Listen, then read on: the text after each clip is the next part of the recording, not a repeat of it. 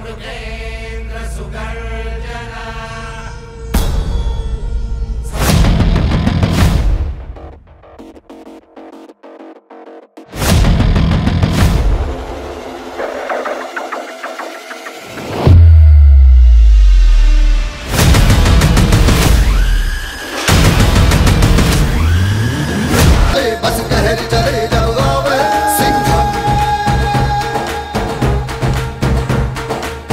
Hello દોસ્તો अजय देवगन की सबसे most awaited film Singham three से जुड़ी गर्मा गर्म अपडेट लेकर आए हैं। जी हाँ दोस्तों, आपको बता दें, अगले साल अप्रैल में फ़िल्म का शूट शुरू कर दिया जाएगा। साथ ही खबरें निकल कर आ रही है कि इस बार फ़िल्म में चुलबुल पांडे यानी सलमान खान का कैमियो भी सिंगम थ्री में देखने को मिलने वाला है। तो दोस्तों, आइए जानते हैं फ़िल्म की स्टोरी के बारे में और साथ ही बात करते हैं फ़िल्म की बाकी की स्टार कास्ट के बारे में। हेलो दोस्तों, साल 2011 में आई फ़िल्म सिंगम तो आपको याद ही होगी, जिसमें अजय देवगन एक एंग्री पुलिस वाले के किरदार में नज़र आए थे और फ़िल्म में अजय के एक्शन और डायलॉग को फैंस ने खूब पसंद किया था और साल 2014 में फ़िल्म का सेकेंड पार्ट देखने को मिला था, जिसमें अजय देवगन, करीना कपूर के साथ नज़र आए थे। और अब आठ साल के बाद खबरें आ रही है की फ़िल्म के तीसरे पार्ट आरोप जल्द ही काम शुरू कर दिया जाएगा। बीते दिनों फ़िल्म के डायरेक्टर रोहित शेट्टी ने बताया था की सिंगम थ्री पर 2023 में अप्रैल में काम शुरू किया जाएगा। इस न्यूज़ को सुन के फैंस भी खूब एक्साइटेड नज़र आ रहे थे और अब रोहित शेट्टी ने कंफर्म कर दिया है कि फ़िल्म में सलमान खान भी नज़र आने वाले हैं। साथ ही खबरें ये भी आ रही है कि सिंगम थ्री में अजय के साथ साउथ के सुपरस्टार सूर्य भी नज़र आ सकते हैं और इस बार फ़िल्म में फीमेल कॉप भी देखने को मिलेगी। जिसकी अभी तक कोई